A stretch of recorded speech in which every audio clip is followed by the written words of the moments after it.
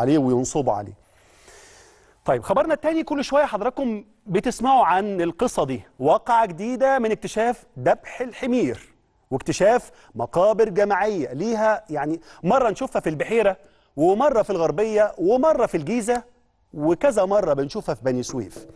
الموضوع بقى بالفعل شكل ظاهرة ظاهرة ومنتشرة. وذبح الحمير بقى خبر شبه يومي بنطلعه في الأخبار. مرة نسمع تعليق إنه لتصدير جلودها للصين والدول تانية والجلد حاليا آخر الأخبار بتقول إنه بيوصل ثمنه ل 600 دولار. 600 دولار. يعني بنتكلم في قرابة 11 ألف جنيه مصري. فشوية بنرتاح إن هم عايزين آه، أو بيذبحوها علشان فقط الجلود ملهاش علاقة باللحمة. وبعدها على طول بنفاجأ بخبر تاني بيصدمنا.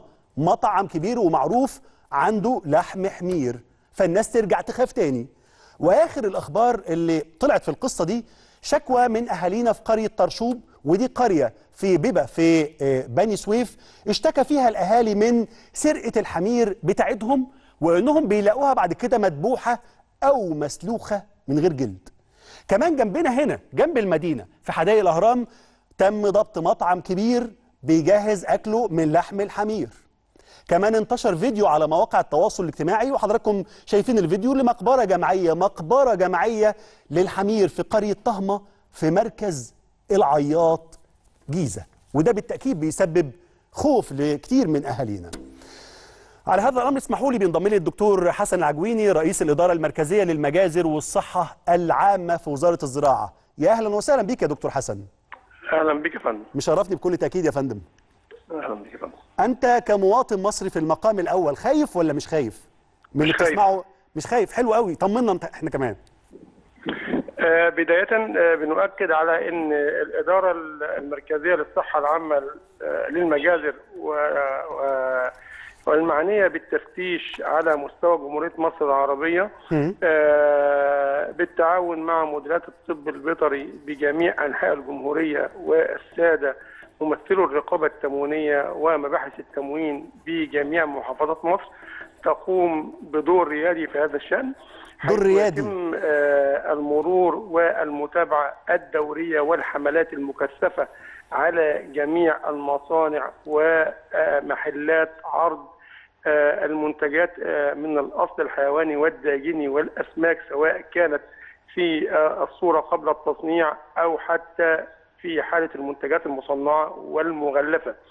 ويتم إخذ العينات بصفة دورية وفحصها بالمعامل المركزية المصرية وهي معامل مرجعية. عينات إيه يا دكتور حسن؟ عينات إيه حضرتك؟ أنا عينات إيه؟ العينات في حالة لو كانت اللحوم في صورة لحم مفروم.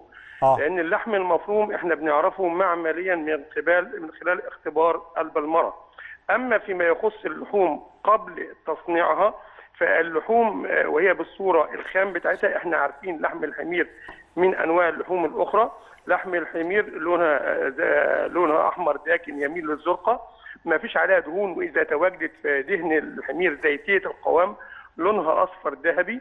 لو تركناها شوية بتاخد لون نحاسي لحم الحمار لو أنا حطيته في ماء بيغلي أو غليته على النار ودخلت امرأة كثيفة فاقده البصر هتعرف لأنه هينبعث من ريحة الشوربة ريحة روث الخيل. فضلا عن إن بيعلو الشوربة بقعة صفراء مميزة طيب. في لحوم الفصيلة الخيلية. المجهود الكبير المجهود الكبير اللي حضرتك آه، ذكرته وبتقول إن يعني ما شاء الله يعني أنتوا بتقوموا بدور يعني مش عايزين نقلل من مجهودكم مجهودكم كبير. بس حضرتك شايف الفيديو اللي معروض على الشاشة يا فندم؟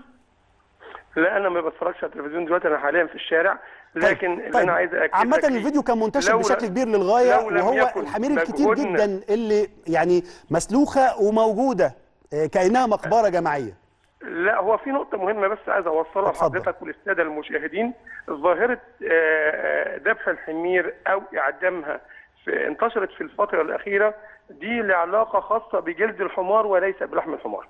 جلد الحمار ثمنه مرتفع بعض الناس آه، خدوا إجراء بغرض خروجه من مصر بطريقة غير قانونية أو اتخذوا إجراءات في بعضهم اللي اتبع الإجراءات المشددة اللي إحنا عملناها لأن إحنا عملنا إجراءات مشددة اللي هي إيه بقى يا فندم؟ آه، إن إحنا قلنا اولا لا يسمح بتصدير جلود الحمير إلا إذا كانت مشتراه من حديقة الحيوان التابعة للاداره المركزية لحدائق الحيوان والحياة البرية وإنه لا يسمح بالإعدام الرحيم للحمير إلا بغرض تغذية المفترسات داخل حدائق الحيوان والسيرك القومي والمنشآت المرخص لها بحيازه المفترسات تحت إشراف مديرية الطب البيطري اللي وقع في نطاقها السيرك أو المنشأة طب الجلد بيطلع رقم بره. إزاي يا دكتور حسن بالشكل ده اللي هو الطريق نعم. الغير قانوني اللي حضرتك بتقول عليه الجلد اولا اللي غير قانوني بعض الناس اللي بتسول لهم نفسهم للاكتساب بطريقة غير قانونية بياخدوا الحمير وبيقتلوها وبياخدوا جلدها بغرض إنه يتباعوا كسماسرة للناس اللي بتشتغل في عالم الجلود وطبعا إحنا في بلدنا زي ما في ناس أسوياء في ناس أصلا غير أسوياء بيتاجروا في هذا العمل بالمخالفة للقانون دون مراعاة لا لصحة الإنسان ولا للبيئة. ودول اللي إحنا بنتتبعهم بالمرصاد. ودليل ده إن إحنا بنشتغل دون أن نعلن للناس كل حاجة حرصا على سمعة بلدنا. طيب المجهود الرائد اللي عندنا عدد يا- من يا دكتور المحاضر حسن المجهود لا الرائد. يتهم بيها صدرت أحكام قضائية ضد المخالفين كتير ولكن بنقول للمواطن المصري اطمئن الموضوع تحت عينينا في جميع محافظات مصر والساده مباحث التموين بيعملوا على مدار الساعة في هذا الشأن. هو العقوبة إيه يا دكتور حسن بالظبط؟ لأن الموضوع منتشر. الموضوع اللي إحنا لسه لسه شايفين جنبنا هنا لو حضرتك تسمعني يا فندم لسه شايفين جنبنا هنا أو متابعين إن في ضبط مطعم كبير كان بيبيع آه، يعني لحومه فيها لحم الحمير. والصور اللي حضرتك شايفها في الفيديو انت بتتكلم في مئات الحمير مذبوحة ومسلوخة. بنتكلم في أماكن كتير مش مكان لوحده مش بني سويف لوحدها. إحنا شفنا في البحيرة وشفنا في أماكن تانية. فبالتالي الموضوع منتشر. كملت الضبط آه، الغالبية بيعمل في مجال الموضوع ده بغرض الحصول على الجلد لكن قليل منهم من تسول له نفسه.